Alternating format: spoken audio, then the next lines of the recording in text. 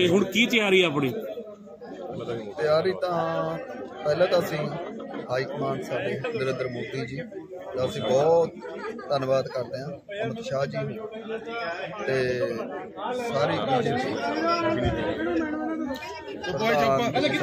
ਅਸ਼ਵਨੀ ਸ਼ਰਮਾ ਜੀ ਤੇ ਹੋਰ ਵੀ ਸਾਰੀ ਬੀਜੇਪੀ ਜੋ ਹਾਈ ਕਮਾਂਡ ਹੈ ਅਸੀਂ ਉਹਦਾ ਬਹੁਤ ਧੰਨਵਾਦ ਕਰਦੇ ਹਾਂ ਜਿਨ੍ਹਾਂ ਨੇ ਸਾਨੂੰ ਇੱਕ ਕਿਸਾਨ ਦੇ ਬੇਟੇ ਨੂੰ ਪੰਜਾਬ ਦੇ ਵਿੱਚ ਟਿਕਟ ਦਿੱਤਾ। ਹੁਣ ਕੀ ਤਿਆਰੀ ਤੁਹਾਡੀ ਹੁਣ?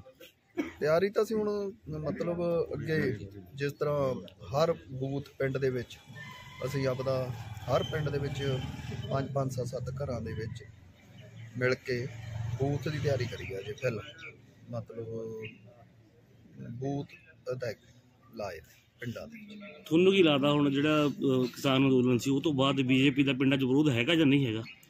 ਨਹੀਂ ਉਹਦੇ ਨਾਲ ਤਾਂ ਕੋਈ ਫ਼ਰਕ ਨਹੀਂ ਹੈਗਾ। ਉਹ ਤਾਂ ਜੀ ਇੱਕ ਕਾਨੂੰਨ ਪੰਜਾਬ ਦੇ ਅੰਦਰ ਜਿਸ ਤਰ੍ਹਾਂ ਆਪਣੇ ਨਰਿੰਦਰ ਮੋਦੀ ਜੀ ਔਰ ਸਰਕਾਰ ਨੇ ਬਣਾਈ ਸੀ ਉਹ ਵਾਪਸ ਲੈ ਜੀ ਉਹਦੇ ਨਾਲ ਤਾਂ ਹੁਣ ਕੋਈ ਵਿਰੋਧ ਨਹੀਂ ਹੈਗਾ ਜੀ।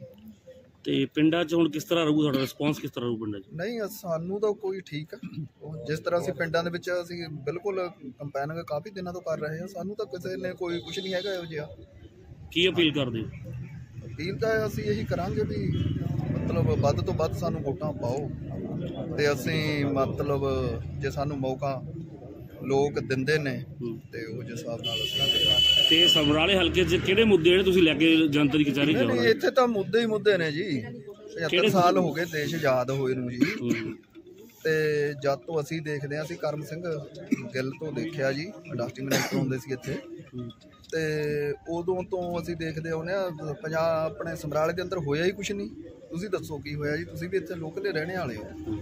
ਸਾਰੇ ਹੀ ਮੁੱਦੇ ਮੁੱਦੇ ਨੇ। ਜੇ ਸਾਨੂੰ ਲੋਕ ਪਬਲਿਕ ਸਾਨੂੰ ਮੌਕਾ ਦਿੰਦੀ ਹੈ, ਤਾਂ ਅਸੀਂ ਪਹਿਲਾਂ ਤਾਂ ਸਮਰਾਲੇ ਦਾ ਜਿਸ ਤਰ੍ਹਾਂ ਸੀਵਰੇਜ ਹੋ ਗਿਆ, ਸੀਵਰੇਜ ਦਾ ਮੁੱਦਾ 75 ਸਾਲ ਤੋਂ ਉਸੇ ਤਰ੍ਹਾਂ ਹੀ ਪਿਆ ਜੀ। ਤੇ ਬਾਕੀ ਐਜੂਕੇਸ਼ਨ ਬਾਰੇ ਵੀ ਅਸੀਂ ਕੋਈ ਵੱਡਾ ਕਾਲਜ ਦੀ ਹਾਈ ਕਮਾਂਡ ਨੂੰ ਕਰਾਂਗੇ ਵੀ ਸਾਡੇ ਏਰੀਆ ਦੇ ਵਿੱਚ ਬੰਦ ਚਾਹੀਦਾ ਤੇ ਜੋ ਪੰਜਾਬ 'ਚ ਨਸ਼ਾ ਫੈਲਿਆ ਹੋਇਆ ਨਾ ਇਹਦੇ ਲਈ ਤੁਸੀਂ ਕੀ ਕਰੋਗੇ? ਇਹਦੇ ਲਈ ਵੀ ਅਸੀਂ ਵੱਧ ਤੋਂ ਵੱਧ ਕਹਿੰਦੀਆਂ ਤਾਂ ਹਰ ਇੱਕ ਸਰਕਾਰ ਇਹ ਕਹਿੰਦੀ ਆਈ ਆ ਹੁਣ ਤੱਕ।